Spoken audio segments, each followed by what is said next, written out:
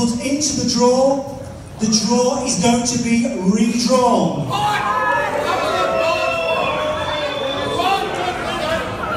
We will have to start in one hour from now. Well, that's a clip from the World Masters 12 months ago, would you believe? It seems uh, a hell of a lot longer, doesn't it, given everything that's happened uh, in society. Well, 12 months later, and given everything that we know about the BDO and everything that's happened in darts since then, I thought it'd be a good opportunity just to have a look at that rather chaotic afternoon at a Grays Leisure Centre. Um, the most chaotic afternoon of Des Jacklin's tenure. It's actually always been on the bucket list to go to the World Masters uh, for myself, second oldest major in BDO darts. So when I found out that it was going to be uh, in Essex, I thought I'd take the day off and head down there. And just a very um, interesting tournament actually because uh, globally uh, there's just a lot of players that you don't normally see that go and participate in events like that, uh, which is always quite interesting guys like Christoph Witkowski and Gabriel Clemens in previous years have done very, very well uh, at that event, so it's always nice to see uh, emerging talent. Um, but the afternoon, as I say, was not something that uh, I expected uh, and, and, the way that it unravelled. And Martin Adams, uh, since then, has actually said and is quoted as saying that it's the day that the BDO died. So let's have a look at just what exactly went wrong. Well, uh, upon arrival, uh, things were pretty good actually. So uh, I was there with Alex Moss from the Weekly Darts Cast. There we are, very smiley in those halcyon days before uh, social distancing, of course, uh, which we didn't know what it was at that point. And uh, yeah, just you know, a good experience to meet up and get some interviews for that particular podcast, and it's available at theweeklydartscast.com. Uh, so I was milling around. Uh, there was a few uh, grumbles. Darts players do love a grumble, of course, as we know. Um, it was very uh, very tightly packed. There weren't necessarily uh, as many practice boards as, as people would like, and uh, possibly a bit cramped. But apart from that, it was going pretty well um, up until that point. So then we get up to one o'clock, and this is where Des Jacklin actually takes to the stage and addresses the audience for the first time. There are still over and above people that have not turned up today. This means that the person that has turned up will get a bye in the first round and will not play until the second round. You will not know you get the bye until you go to the registration desk. For the first round, we need volunteer markers. Please, if you see an empty board and you know that you are not playing for a while, please get up and mark it. If you don't, it means that the day is going to run on even longer. If you see a spare board, please get up and mark it. Now it's interesting that, isn't it? Because uh, you don't get the full clip there, and I'll explain the context. Uh, but he's talking now about volunteer markers uh, for the World Masters, which is just uh, absolutely uh, madness, isn't it? Really, to think that uh, you know, markers hadn't been um, assigned to boards, which is quite interesting. quite interesting, uh, uh, given that everything that's synonymous with this afternoon of darts in terms of the fake names and the redraw, you know, you just think, gosh, volunteer markers. I mean, if you've ever been to a local open, you don't see people rushing towards uh, doing volunteer marking in a hurry, do you? So yeah, that's uh, that was the first thing I thought. Oh, that's very odd. Anyway, so in the week leading up to this, um, for uh, context, there was a few questions on social media that, that common themes that kept running. One was the lack of a prize draw and uh, so we didn't know what the prize fund was. Uh, more on that in a second. And the other part was the fact that there was a pre-draw done, and this was online. This was on their website.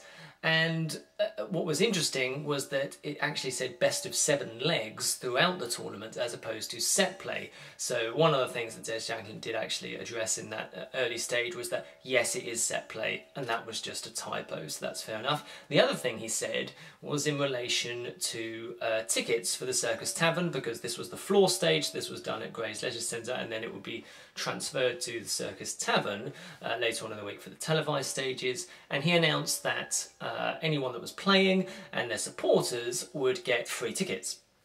Uh, which you can look at one of two ways. One, are, one being that uh, that's a fantastic thing uh, for uh, everyone and what a great way to support the event, or ticket sales haven't gone so well. Hmm. You can debate that one, um, but it's probably the answer may well be uh, in the middle of those two options. I, th I think. So that was about one o'clock. Now I might have got my timings wrong here, but uh, it was around this point. It may have just been before he took to the stage or just after that there was then this meeting with 16 with the 16 men's uh, seeds. Now I wish I had a transcript for what, I, what was actually said uh, in that meeting. So everything I'm about to say is alleged. Just one for the lawyers there, um, but generally speaking, from hearsay and piecing it together from different accounts of, of players that were in that uh, room, it's uh, the, the rough um, rough translation of what actually happened is as follows. So it's thought that the meeting was directed at trying to get the 16 seeds on side and trying to restore faith in what had been quite a chaotic week up until that point. Um, one player is said to have wanted to record it, um, which was uh, swiftly declined. Um, another player um, actually fired back at Jacklin because um, Jacklin was said to um, have basically been at breaking point and said it was a very high pressure situation and that he was going to quit. And to which another player, who is now in the PDC, is alleged to have fired back and said, well, you shouldn't have taken the job then, should you? And you think, well, yeah, quite.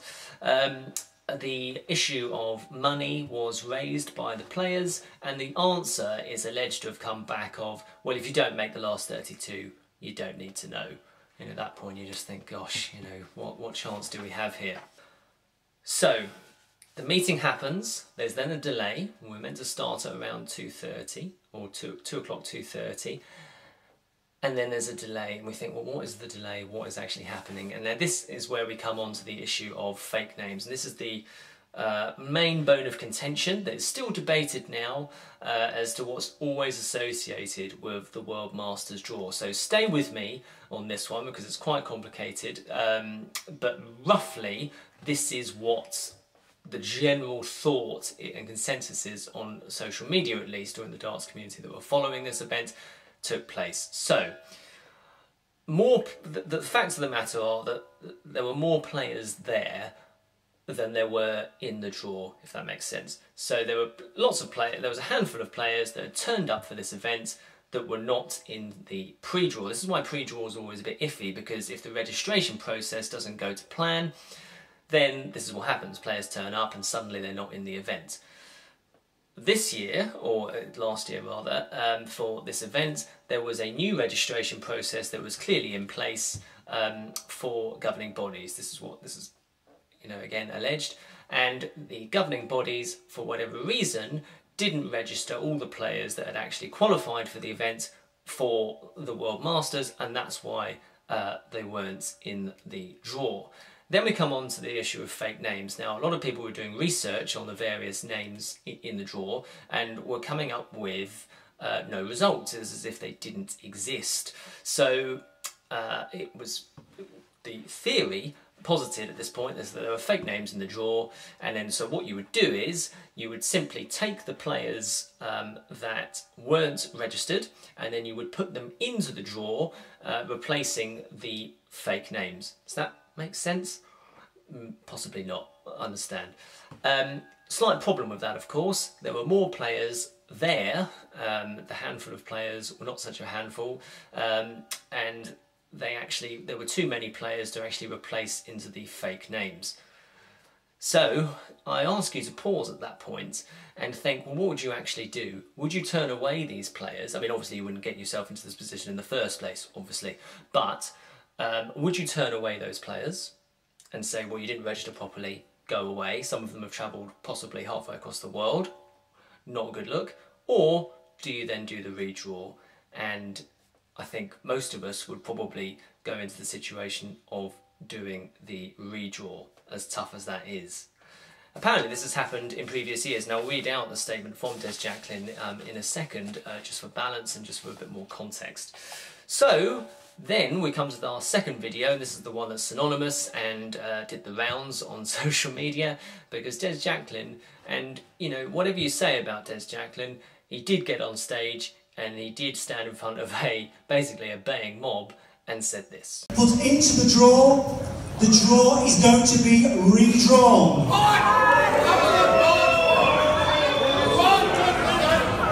We will have to start in one hour from now, and you will not have assignment cards. It will be done on the microphone. The draw will be ready and up in about 30 minutes. And you'll be called to the registration desk when your game is on. This is the only way for everybody in the room to be able to play the competition that they have qualified for quite the uh, quite the moment. And one of the things about that video, looking back on it a year later, is that I remember at the time, I remember feeling that the room had basically just um, switched and turned on him. I remember the Northern Ireland contingents behind us, uh, or behind where I was filming that, they were going uh, mental. And what you've got to remember is, is that for, for a lot of these, um, you know, for a lot of the players in that room, um, you know, it's the biggest tournament of their lives, you know, or and certainly of the season and possibly of their lives, and it's a big deal. And you know, for Northern Ireland, you know, for that Northern Ireland contingent, um, you know, they'd all come over together, and it was it was a big team event and a, and a big day out, and Neil Duff who was part of that contingent, played very well um, despite all the circumstances. Um, so yeah, you know, you can see why it's a crushing blow. And you know, is it any coincidence? And I don't think it is that Northern Ireland, the Northern Ireland Open, were the first ones to withdraw their uh, ranking points for the, for the BDO for their own tournament um, held in October every year. Um, well, I don't think it's a coincidence at all. I think that that experience that day certainly had had a big part to play in that. And also, you know, for, for, for myself, you know, the reason why I wanted to go to this event is to see local players, the likes of, you know, Francis Carragher and John Scott, you know, players that I've got to know at Riley's Victoria, events close to me. Um, you know, they tour all year and, you know, this is a big highlight for them. You know, it, it is a BDO major you know, and then it's, you know, also wanted to see the likes of you know, Aaron Turner, who's from Surrey, you know, and players like Steve Lovett, who had qualified. You know, he's also one of you know one of the best players that Surrey's ever produced, but doesn't tour. You know, here's a great opportunity for him to, to mix it and and uh, and play with some of the best players around. You know, and, and this is a big day out for them and it's just a crushing blow when it's organised, uh, you know, perhaps as badly as that. Now, that said, um, it's only fair that we read a statement from Des Jacklin on this because uh, this is only one interpretation of the event. Alex Moss, who we saw earlier uh, in the video, he did uh, very well to get an interview with Des Jacklin later on in the week. And in fairness to Des Jacklin, he was very honest in, in his assessment of things. And here's a statement on, on what happened. I've heard there were fake names in the men's and ladies' draws. There were people that had qualified for the event, then out of those people that had qualified for the event, there were people that had actually put their names in the draw. There were people that put their names in for other people, and this was always going to happen. It's happened in the past every single year. But this year, because it's me, it's my name that's in charge and it's picked up on. I do think I did the wrong thing by announcing to everyone that it was wrong and they were, we were going to have to redo it. I think in the past people have stayed quiet, it's not been announced, and they've just got on with it and done a draw that's completely wrong. The people it would have affected were a handful of people, that handful would have been a bit verbal, and that would have been it. But by being upfront and by saying this is wrong and this needs to be done, it brought it to the forefront, then everybody wanted to have a pop. People want me to be upfront about it, and then when I am upfront about it, they tell me I'm not being upfront about it. The truth is what you get from me. If the truth isn't what's liked, then I don't win either way. As far as fake names go, I don't know anything about fake names. People put their name into the draw. I don't do it for them. I don't monitor the names that go into the draw. So that's a fairly comprehensive uh, statement from Des Jacklin. And as you saw in that video, one of the things that he did announce was that the draw would then be done on the microphone. Now, I'm not sure whether it actually was done on the microphone, but what I do remember is that the microphone was so tinny and dreadful, and it wasn't of the of the quality that, that, that Des Jacklin was speaking into. Clearly, it was a different microphone um, that you couldn't actually hear anything that was being said, which was uh, particularly useful. I wish they just stood up and shouted it. Really, that's a common theme of, of darts events. I find that sometimes the microphones are just so absolutely appalling; it just drives you crazy. Um, and what I do remember, abiding memory, is that um, uh, uh, there was a lady who was actually giving the draw, and um, whenever there was a buy, and we'll come on to that in a second, uh, she would yell out, You've been exterminated at the top of her lungs, um, which wasn't the most professional, I would say. The redraw is done and as you can see on this image here you can see the players crowding around, no social distancing there of course, uh, crowding around the notice board trying to find the for window printout to try and find out who on earth they're playing.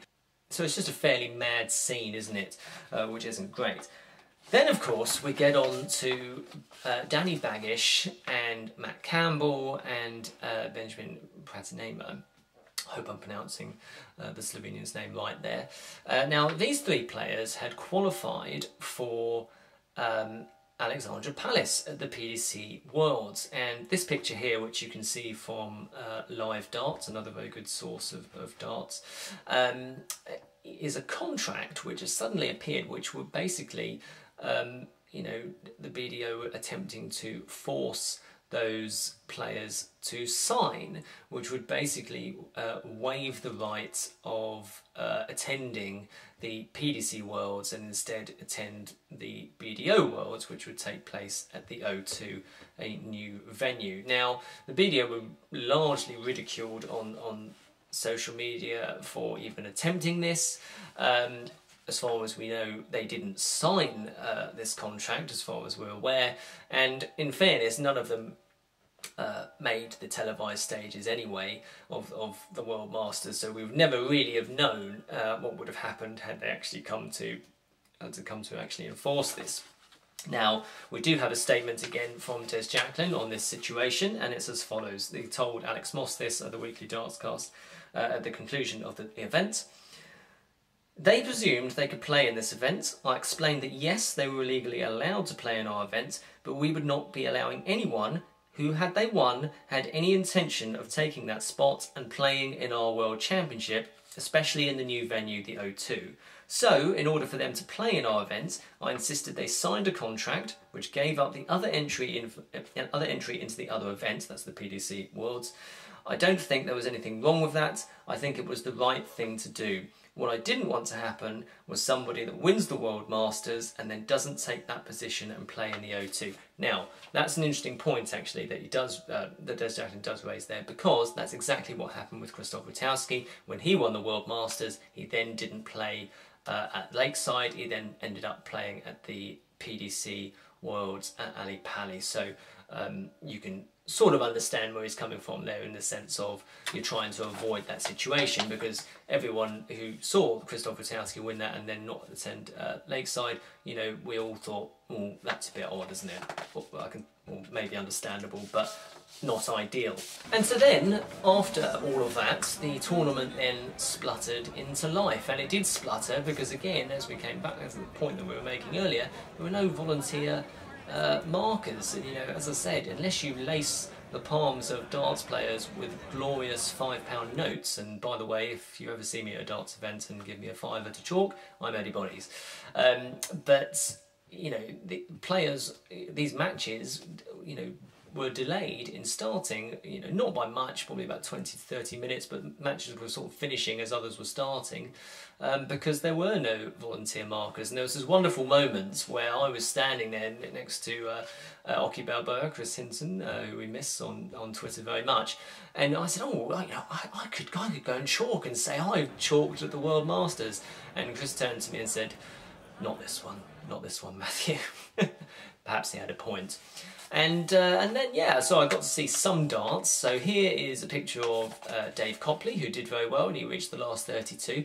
Now, even after all of this had actually transpired, there were still players that somehow managed to make it through in the redraw that weren't there. So here's Dave Copley playing nobody. He was meant to be playing Barry Lynn. Well, Barry Lynn never registered, and he wasn't there in the venue at all at any point in the day and yet uh, you know he was still drawn against him and got a bye through to the next round because Barry Lynn wasn't there. He was exterminated, as the as the woman was very uh, gleefully shouting on the tinny microphone. Um, so there was that. I got to see a bit of uh, Paul Brown uh, there, pictured here, and then I got to see. I did get to see uh, Aaron Turner play um, which was good. He won his first round match, and then I got to see a bit of uh, Lukasz and uh, Brian Roman, which was a very tight contest uh, as well. So I got to see a bit of darts, but then I had to I had to go because I was only there for the afternoon. I, uh, envisaged seeing uh, three hours of darts, but in reality, probably only got the hour in the end and uh, yeah, it was it was a, uh, a, a very strange experience. And as I got into the car, it's back to normality. There's a picture of the uh, washing up there, awaited me when I was back. Um, I just thought, gosh, what what have I seen? What have I seen? And 12 months later, I'm really not sure I, I can answer that question, really, even even now. Just one of the most peculiar days of darts uh, I've ever experienced, uh, before or since, and one to live long in the memory. Thank you very much for watching. Do leave a comment and do subscribe.